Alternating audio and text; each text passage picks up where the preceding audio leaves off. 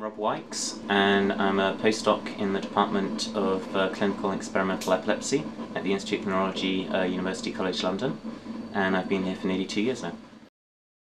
Yeah, so we, we do several things um, and we're involved in manipulating um, ion channels in neurons and one of the ways in which we do this is to um, either overexpress an ion channel or to knock down the ion channel using shRNAs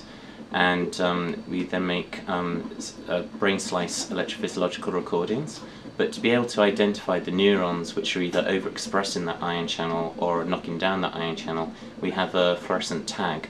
um, which is expressed in those neurons. So I need to be have a way basically of being able to identify which neurons in a slice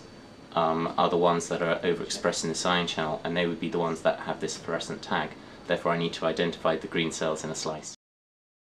Yeah, so the, the good thing about PatchVision is, is that you don't need um, expensive cameras or, um, or, or, an ex uh, expensive illumination source. Um, you can um, basically filter the, the images that you get to, to identify um, green neurons in a slice. And the, the, the, way in which I do this is uh, I scan the slice, I find where a green cell is, I check under DIC that it looks fine and healthy, and then um, I go in and patch that neuron.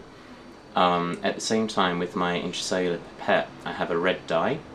and at the end of the experiment I can then look at uh, the green fluorescence which is, is the, the tag for the protein versus the red fluorescence which would be the neuron that I've patched and if they overlay that's a confirmation that I've patched the cell that I'm, I was targeting.